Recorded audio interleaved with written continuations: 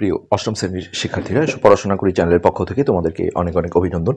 আমরা আজকে তোমাদের গণিতের দ্বিতীয় অধ্যায় যেটা আমরা ধারাবাহিকভাবে ক্লাস করছিলাম, দৈনন্দিন কাজে বাস্তব সংখ্যা, সেই ক্লাসের ধারাবাহিকতা আজকে আমরা সপ্তম পাঠের ক্লাসটা করছি। তো ইতিপূর্বে আগের পার্টগুলো যারা দেখোনি বা অন্যান্য অধ্যায়ের ক্লাসগুলো যারা দেখোনি, আমরা ভিডিও নিচে প্লে লিস্টের লিঙ্কগুলো দিয়ে দিই, সেখান থেকে দেখে নেবে। তো আজকে আমরা উনত্রিশ পৃষ্ঠার যে আসন্ন মান রয়েছে, অর্থাৎ ইংলিশে যেটা বলা হয় অ্যাপ্রক্সিমেট ভ্যালু অর্থাৎ যেটার বাংলা করলে দাঁড়ায় হচ্ছে কাছাকাছি হ্যাঁ বা প্রায়। তো এই জিনিসটা আমরা এখানে ভালোভাবে একদম শিখব। তো এখানে কিছু ডিভাইস দেখা যাচ্ছে ক্যালকুলেটর বা কম্পিউটার আছে। তো আমরা আগে জিনিসগুলো পড়ে নিই, তারপরে তোমাদের ক্লিয়ার করে জিনিসটা বোঝানোর চেষ্টা করব। তোমরা তিন বন্ধু মিলে একশো টাকা সমান ভাগে ভাগ করে নিতে চাইছো। তো ভাগ করে দেখো, তুমি ক্লান্ত হয়ে যাবে, কিন্তু ভাগ প্রক্রিয়া শেষ হবে না, যেটা আমরা মাঝে মাঝে বলি যে কেয়ামত আসলেও আসলে এই ভাগটা শেষ হবে না। যেমন একশোকে সরি একশোকে যদি আমরা দেখো তিন দিয়ে ভাগ করি, তাহলে প্রথমে তিন ত্রিক্ষা নয়, অবশিষ্ট এক এই শূন্যটা কাটলে। তারপরে এখানে দেখো তিনবার দাও, তিন ত্রিক্ষা নয়, এই যে অবশিষ্ট এক, এখন এটাকে আমরা চাইলে মিশ্র বা সমস্ত করে দিতে পারি, তেত্রিশ সমস্ত এক বাই তিন, তাহলে এটা এক এক ধরনের ফিনিশিং আবার যদি বলা হয় না দশমিকে নিয়ে আসো, তাহলে দেখো এখানে দশমিক দেওয়ার পরে যখন একটা শূন্য নিলাম, তারপরে এখানে তিনবার গেল, তিন ত্রিক্ষা নয় অবশিষ্ট এক, আর এটা আমরা আগের পাঠেও শিখিয়েছি, ভাগফলে দশমিক আসলে প্রত্যেক লাইনে একটা করে শূন্য নেওয়া যায় এমনি। তো একটা শূন্য নিয়ে এই যে তিন তিনবার যেতেই থাকবে, এটা কিন্তু কেয়ামত আসলে এই ভাগ শেষ হবে না। তিন ত্রিক্ষা নয়, অবশিষ্ট এক, আবার একটা শূন্য নিলে আবারও তিনবার যাবে। এই কথাটাই এখানে বলা হলো। তো এই যে হচ্ছে যে একশো টাকা সমান তিন ভাগ করবে, তো এটা তো আসলে ফিনিশিং না থাকলে হ্যাঁ সমান তিন ভাগ আসলে কীভাবে করবে? ভাগটা তো শেষই হবে না। মানে প্রত্যেক বন্ধু আসলে কত টাকা করে নেবে? তো এই বিষয়টাই এই ধরনের কাজ করার জন্য মানুষ নানা রকম যন্ত্র আবিষ্কার করেছে। এই ধরনের আমাদের নানা সমস্যার সাহায্যকারী বন্ধুর মতো কাজ করে এই যন্ত্রগুলো। নানা রকম হিসাব নিকাশের কষ্ট কমানোর জন্য মানুষ বিভিন্ন ধরনের ক্যালকুলেটর, কম্পিউটার বা অন্য কোনো ডিজিটাল ডিভাইস তৈরি করেছে। তোমার কাছে থাকা এরকম কোনো ডিজিটাল ডিভাইসের মাধ্যমে একশোকে তিন দ্বারা ভাগ করো। তো আমরা সিম্পল একটা ডিভাইস জাস্ট এখানে মোবাইলে যে আমাদের ক্যালকুলেটর রয়েছে হ্যাঁ এটা দিয়ে আমরা ভাগ করি। দেখো, একশো ভাগ তিন। তো এই যে এখানে কিন্তু একটা বিষয় খেয়াল করে দেখো যে এটা মনে হচ্ছে যে ভাগফলটা মনে হয় সসীম দশমিক ভগ্নাংশ, অর্থাৎ ফিনিশিং করে দেওয়া হয়েছে। হ্যাঁ তেত্রিশের পরে যতগুলো তিনই থাক কিন্তু শেষ করে দেওয়া হয়েছে। এই বিষয়টাই কিন্তু এখানে আলোকপাত করা হয়েছে যে অনেকের এটা ভুল ধারণা হতে পারে যে মেবি ভাগটা মিলে গেছে। এরা কিন্তু অসীম ইয়াটা যে ডট ডট দিয়ে দেখাতে হয়, সেই জিনিসটা দেখায় না। তবে আধুনিক অনেক ক্যালকুলেটর অবশ্য বের হয়েছে এফএক্স ক্যালকুলেটরগুলো সাইন্টিফিক হ্যাঁ সেখানে কিন্তু এটা আসলে নিয়ে আসা যায়। তো এটা জেনারেল সেন্সে আসলে বলা হচ্ছে। তো আমরা দেখলাম যে ভাগ করে দেখলাম তাহলে সব রকম গণনা গণনা বা ডিজিটাল ডিভাইসে কি একই ভাগফল দেখতে পাচ্ছ? নিশ্চয়ই না। আর একশোকে তিন দিয়ে ভাগ করলে ভাগফল একটাই আসার কথা। তাহলে কোনটা ঠিক আর কোনটা ভুল? কোন ডিভাইস কিন্তু একশোকে তিন দিয়ে ভাগ করলে ভাগফলকে সাধারণ ভগ্নাংশ অর্থাৎ একশো বাই তিন আকারেই দেখায়। সেক্ষেত্রে সেটা ঠিকই আছে।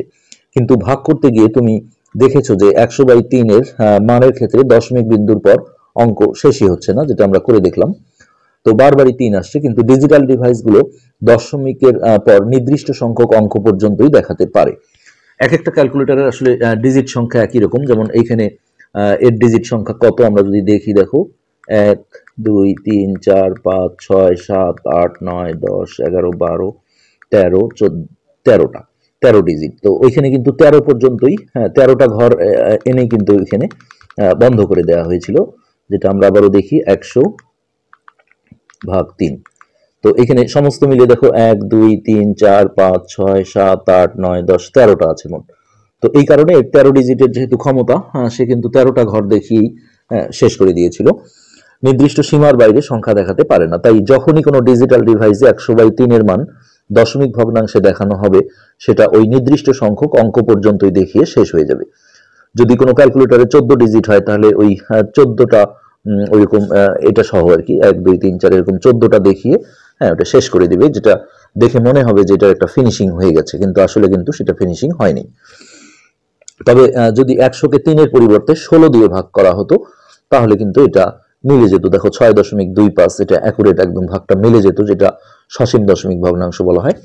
তো এখানে দশমিক বিন্দুর পর মাত্র দুইটি অঙ্ক আছে যে এক, দুই এরপর আর নেই। অর্থাৎ সংখ্যাটিতে দশমিক বিন্দুর পর অঙ্ক সংখ্যা শেষ হচ্ছে। এক্ষেত্রে ডিভাইস বা ডিভাইস গুলোতেই ছয় দশমিক দুই পাঁচ, অর্থাৎ একেবারে সঠিক মানে কিন্তু দেখাতো তো এই বিষয়টা এবার আমরা তিরিশ পৃষ্ঠায় যাব।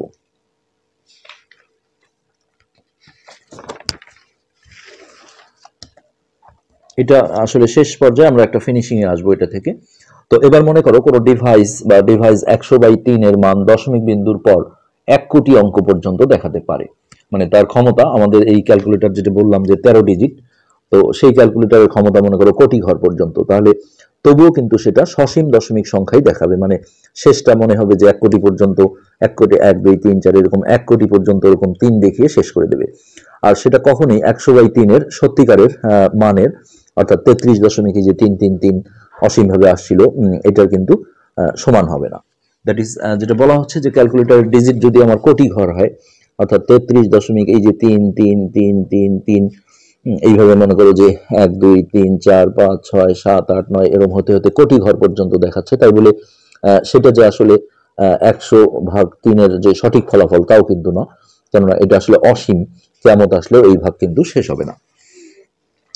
তো তার মানে কোনো ডিজিটাল ডিভাইস একশো বাই তিনের কখনো সঠিক মান দিতে পারে না। এক্ষেত্রে আমাদের এই যে আসন্ন মানের বিষয়টা প্রয়োজন হয়। তাহলে আচ্ছা অসীম দশমিকের গণনার ক্ষেত্রে এই সীমাবদ্ধতার ব্যাপারটি বোঝার পর তুমি কি ডিভাইস নামের এই সাহায্যকারী বন্ধুদেরকে সবসময় ভরসা করবে? নাকি মোটেও ব্যবহার করবে না? তাহলে বিশাল বিশাল যোগ বিয়োগ গুণ ভাগ করতেও অনেক কষ্ট হবে। কি করা যায় বলতো আমরা শুরুতেই বলেছি ডিভাইস বা ডিভাইসগুলো তোমার বন্ধুর মতো নানা কাজে সাহায্য করে। তবে তুমি নিজে ভেবে দেখবে যে কাজটি ঠিক হচ্ছে কিনা। একইভাবে ডিজিটাল ডিভাইসগুলো সব ক্ষেত্রে একেবারে সঠিক উত্তর দিতে পারে না, কাছাকাছি উত্তর দেয়, যাকে আমরা আসন্ন মান অর্থাৎ অ্যাপ্রক্সিমেট ভ্যালু বলে থাকি। এটি ডিজিটাল ডিভাইসের একটা সীমাবদ্ধতা। তবে এফএক্স ক্যালকুলেটর যেটা আমি বললাম সাইন্টিফিক কিছু ক্যালকুলেটর আছে, সেইখানে কিন্তু এই আসন্ন মানটা নিয়ে আসা যায়। তো এবার আমরা দেখো মূলত এই আসন্ন মানের বিষয়টা শিখব। এটা খুবই একটা জরুরি বিষয়।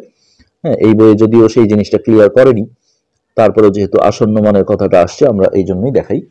তো এইটা আমার কাছে যে বইটা আছে, এটা আগের বছরের পুরাতন কারিকুলামের নবম, দশম শ্রেণির গণিত বই। এখানে খুবই ভালোভাবে দেখো এই কথাগুলো ক্লিয়ার করে বলা আছে, আমরা এটি বোঝানোর চেষ্টা করব। নির্দিষ্ট দশমিক স্থান পর্যন্ত মান হ্যাঁ এবং নির্দিষ্ট দশমিক স্থান পর্যন্ত আসন্ন মান। তো এখানে দেখো আসন্ন কথাটা নেই, আর এখানে আসন্ন আছে। নির্দিষ্ট মানে কি? তিন দশমিক চার দশমিক পাঁচ দশমিক এরকম উল্লেখ করা থাকবে। তো অসীম দশমিক ভগ্নাংশের হ্যাঁ, কোনো নির্দিষ্ট দশমিক স্থান পর্যন্ত মান বের করা এবং কোনো নির্দিষ্ট দশমিক স্থান পর্যন্ত আসন্ন মান বের করা কিন্তু একই নয় ভিন্ন। যেমন এখানে যে সংখ্যাটা দেওয়া হলো দেখো five point four three two five eight nine three এবং এটা চলতে আছে ভাগটা মনে করো যে শেষ হয়নি। তো আমরা এই সংখ্যাটা তুলে নিই। মনে করো একটা সংখ্যা এরকম আসছে five point four three two five eight nine three হ্যাঁ কোনো কিন্তু পুনরাবৃত্তিও হয়নি যে একই অঙ্ক বারবার ঘুরে আসছে বিভিন্ন অঙ্ক আসছে। তো এর যদি চার দশমিক স্থান পর্যন্ত মান বলা হয় যে এর চার দশমিক চারের জায়গায় তিন দুই যেটাই বলুক আমরা একটা বুঝলে বাকিগুলো পারব। চার দশমিক স্থান পর্যন্ত হ্যাঁ, এখানে দেখো আসন্ন কথাটা আমরা বলব না। চার দশমিক স্থান পর্যন্ত মান। হ্যাঁ এই মানটা কত হবে? তো এই যখন আসন্ন কথাটা থাকে না, তখন নিয়ম হচ্ছে যে ঠিক দশমিকের পরে এক, দুই, তিন, চার, অর্থাৎ এই চারটা ঘর পর্যন্ত লিখতে হবে। ফাইভ তো লিখতেই হবে। তো five point four three two five এটাকে বলা হচ্ছে এই অসীম দশমিক ভগ্নাংশটার চার দশমিক স্থান পর্যন্ত মান।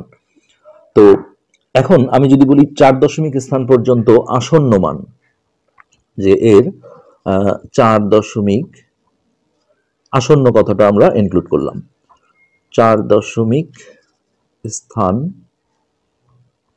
পর্যন্ত আসন্ন মান। এইখানে দেখো একটা সূত্র কাজ করবে, আসন্ন মান। হ্যাঁ তো এই সূত্রটার যেটা নিয়ম সেটা হচ্ছে যে এখন কিন্তু তোমরা যদি এটা উত্তর দাও তাহলে কিন্তু ভুল হবে। তো এই চার দশমিক স্থান পর্যন্ত আসন্ন মান হচ্ছে ঠিক আমাকে যে চার দশমিক বলেছে, তাহলে পঞ্চম ঘরটা, অর্থাৎ এই ঘরটা মানে দশমিকের পরে, এক, দুই, তিন, চার, পাঁচ।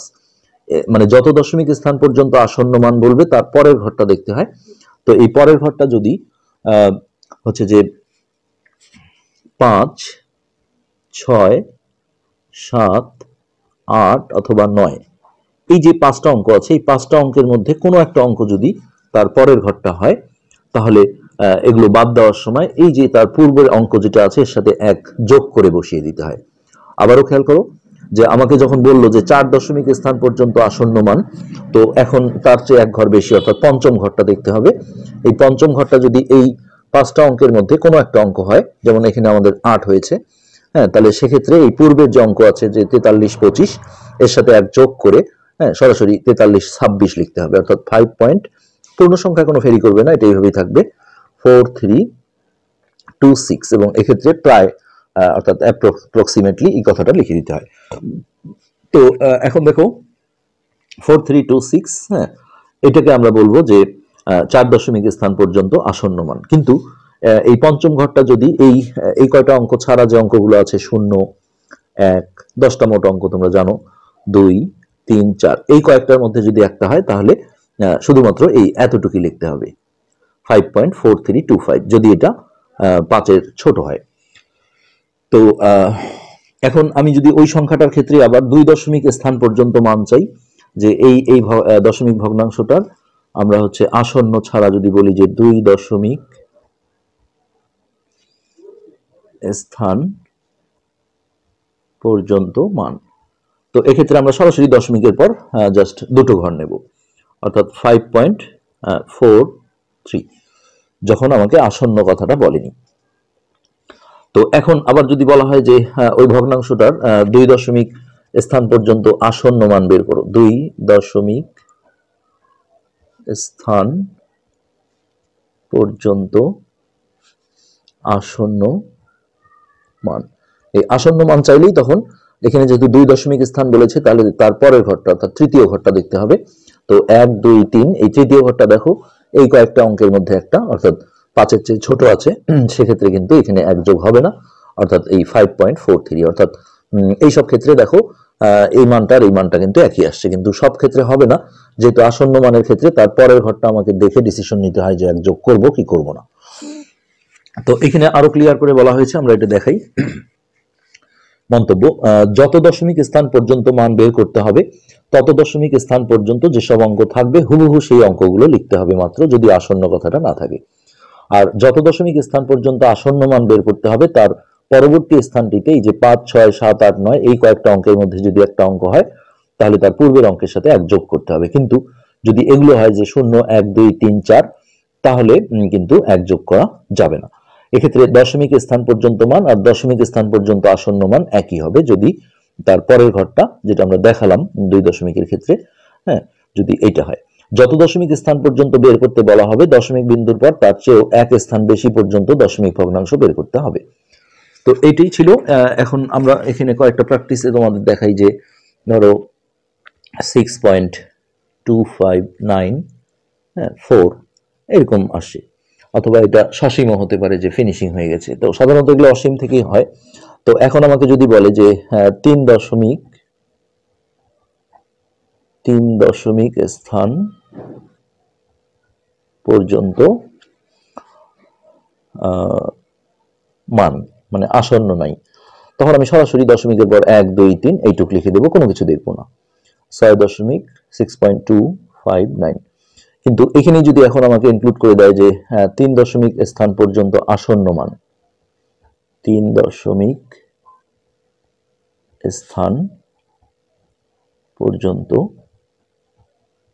আসন্ন মান। তো আসন্ন কথাটা না থাকলে ঠিক যত দশমিক পর্যন্ত বলবে গুনে গুনে তত দশমিক পর্যন্ত লিখে দিতে হবে।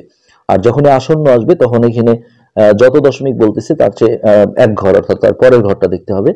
তো তিন দশমিক স্থান পর্যন্ত আসন্ন তাহলে আমরা চতুর্থ ঘরটা দেখব এক দুই তিন চার।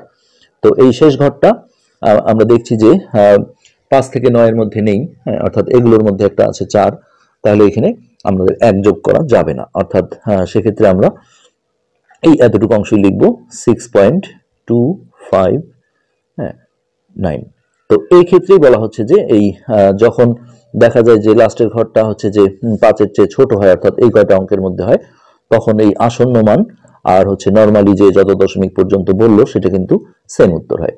কিন্তু এই ঘরটা যদি এমন হয় যে পাঁচ অথবা পাঁচের চেয়ে বড়, অর্থাৎ এই কয়টা ডিজিটের মধ্যে একটা, যেমন six point two five nine six এখন যদি আমাকে এই কথাটা বলা হয় যে এটার তিন দশমিক স্থান পর্যন্ত মান লেখো, তখন আমরা সরাসরি এক, দুই, তিন এইটুক লিখব six point two five nine আর এখন আমাকে যদি এই কথাটা বলা হয় যে তিন দশমিক স্থান পর্যন্ত আসন্ন মান লিখো এটার, তখন আমাকে এই চতুর্থ ঘরটা, লাস্টের ঘরটা দেখতে হবে। এটা যেহেতু এই যে পাঁচ থেকে নয়ের মধ্যে একটা অঙ্ক, তাহলে এর পূর্বের অঙ্কের সাথে কিন্তু এক যোগ করে দিতে হবে, অর্থাৎ সরি সিক্স পয়েন্ট দুইশো উনষাট ছিল সো এটা আমরা দুইশো ষাট করে দেবো। লাস্টের শূন্যটা যদিও ভ্যালু নেই, এটা আমরা কেটেও দিতে পারি। তো এক্ষেত্রে কিন্তু দেখা যাচ্ছে যে নর্মালি যে তিন দশমিক স্থান পর্যন্ত মান আর আসন্ন মান দুটো ভিন্ন হয়েছে। আর এই লাস্টের ঘরটা যদি এই এই কয়টা অঙ্কের মধ্যে হয়, অর্থাৎ পাঁচের চেয়ে নিচে হয়, তাহলে এই নির্দিষ্ট দশমিক স্থান পর্যন্ত মান আর আসন্ন মানের অ্যান্সার কিন্তু একই হয়। তো আশা করি এই আসন্ন মানের বিষয়টা তোমাদের ক্লিয়ার হয়েছে। আজকে এই পর্যন্তই, ধন্যবাদ।